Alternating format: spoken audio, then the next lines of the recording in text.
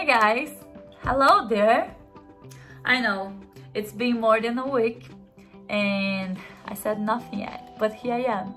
Um, I was taking care of some personal stuff, visa, and I wanted to make sure that everything was good before I came here to talk with you guys.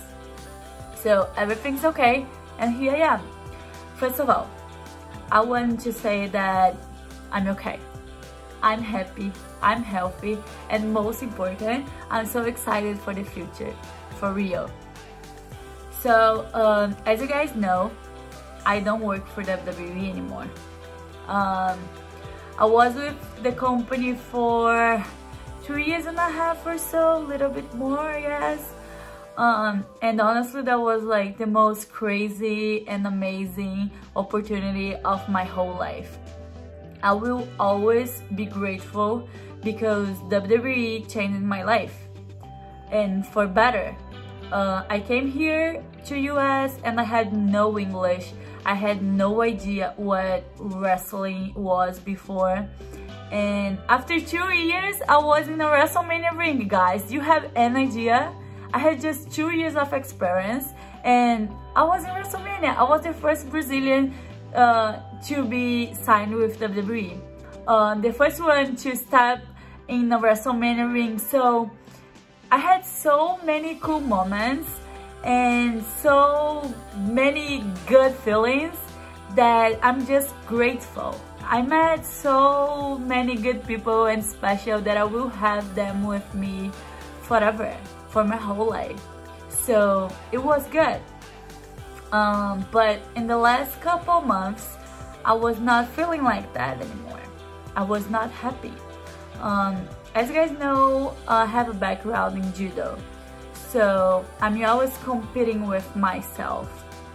And I need to feel that um, I'm growing, that I have space to grow, that I'm useful, you know, and I was not feeling like that anymore.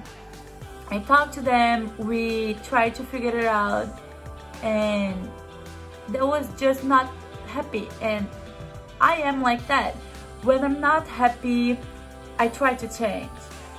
If I can change, let's go, move on, you know? And then I asked for my release about three months ago. Um, and they were not able to give it to me by then and I had no option but to try again. and then the middle of the pandemic, I was at home and I got a call. Hey Tay, bye. They released me. Uh, of course, it was a shock. I was upset, I was nervous, but you know, now that I figured out everything, I'm happy because I want to have good feelings about WWE in my heart and I will always have it. But let's talk about next steps. Um, I fell in love with wrestling. And every time WWE signed someone that came from the indies or from another company, I always asked questions. I was always trying to understand better. And you know, I, I'm curious. I always need to feel that I have challenge. And I always said, even for the coaches that I will miss a lot because we had like great coaches in WWE and that I learned a lot from them. Um, I also said that I want to, to learn more. I want to know about wrestling more because I just know WWE and wrestling is much bigger than that and I know this. So I always ask the question. I was always was happy to learn more, and here I am, free to know, to you know, to learn, and I really, really want to achieve a couple dreams, like go to Japan and wrestling in other places. So I'm really excited excited for the future, guys. I really am. Uh, but for now, that's all. I can't say anything more because I'm not sure about anything yet. But yes, I do have a couple plans and yes, I will be in the business and yes, I will be in US. So thank you so much for your support. I do appreciate all the message that I, I got.